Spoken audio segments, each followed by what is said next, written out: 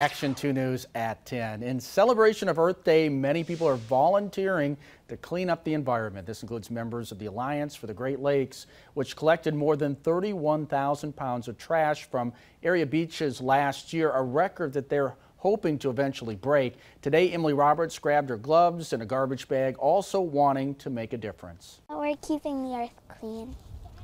Volunteers removed nearly 700 pounds of trash from the Green Bay shoreline within a matter of hours.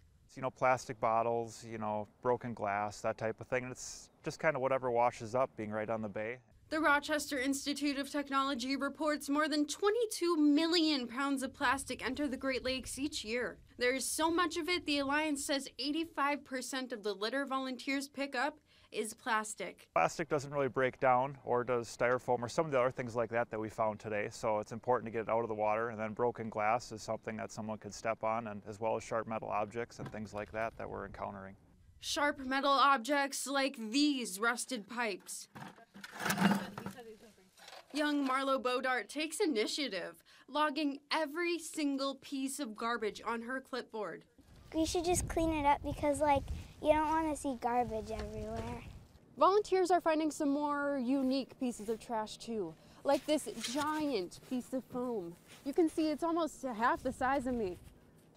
Oh, you, it, you'd be surprised. I mean, being at the mouth of the Fox River, it's kind of, you know, kind of more of an industrial neighborhood. So, you know, you'll get bigger pieces of wood and foam and stuff like that. We found a lot of stuff from boats. We found um, like a buoy off the side of a boat. Um, Found a lot of shotgun shells, probably from scaring off the birds.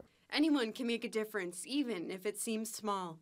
You know, be mindful of where your trash ends up, regardless of what it is. Um, it doesn't take much for it to really pile up and uh, um, in inopportune places. Well, you can always start picking up around your house, around your neighborhood, uh, local parks. You can always do stuff like that. Find beach cleanups in your area by heading to wbay.com/links. In Green Bay, Emily Roberts, Action 2 News.